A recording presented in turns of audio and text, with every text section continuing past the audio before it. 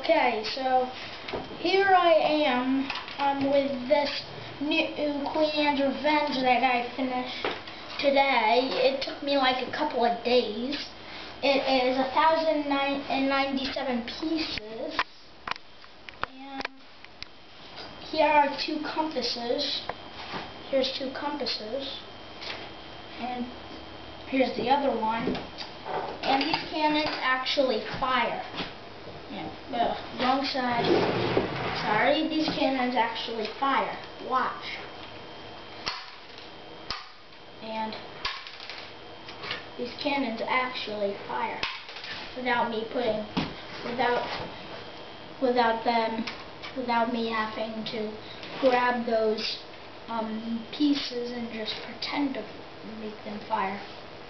And there's an anchor on here also. Yeah for some oh, and I accidentally put a cannonball on the wrong side. And the anchor's right here. And that's it. And here are the crew members. Blackbeard the captain of the ship. Um, Blackbeard's daughter. Um, and there are three zombies. One two, and three.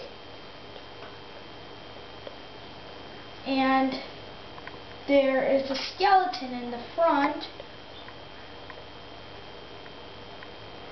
And this is the, and here's Jack Sparrow. The good guys, and there's only, Jack Sparrow's the first good guy, and he's the last good guy.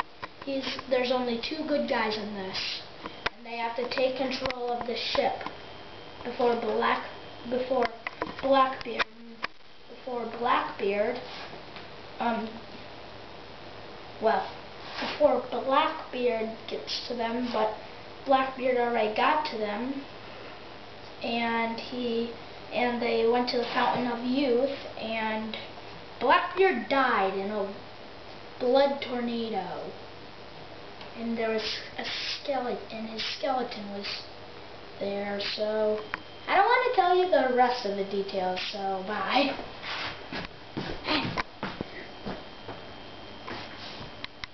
And this is the Queen Anne's, all of the Queen Anne's Revenge.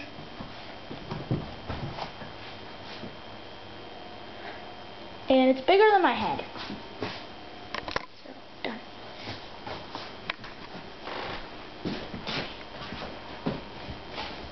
machines.